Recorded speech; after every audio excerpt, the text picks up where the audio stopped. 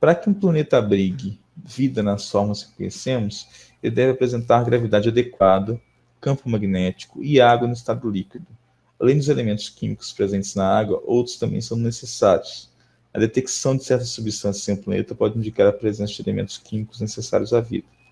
Observações astronômicas de cinco planetas de fora do sistema solar indicaram neles a presença de diferentes substâncias conforme o quadro a seguir. Então, planeta 1 tem tetracloreto de carbono, sulfeto de carbono e nitrogênio. O 2 tem dióxido de nitrogênio, argônio e hélio.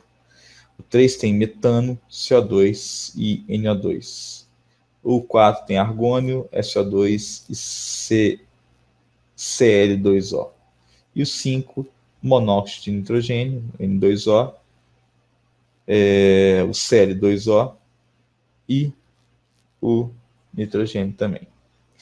Bom, considerando as substâncias detectadas nesses cinco planetas, aquele em que há quatro elementos químicos necessários para que se possa desenvolver vida semelhante à Terra é. Então, pessoal, aqui é um caso mais de conhecimento geral, uma questão que seria uma questão bem Enem, tá? Quais são os elementos químicos que fazem é, diferença para a vida na Terra? Eu primeiro prefiro identificar a galera aqui, tá? Então, no 1 eu tenho tetracloreto de carbono sulfeto de carbono e nitrogênio. Beleza. No 2, eu tenho dióxido de nitrogênio, argônio e hélio.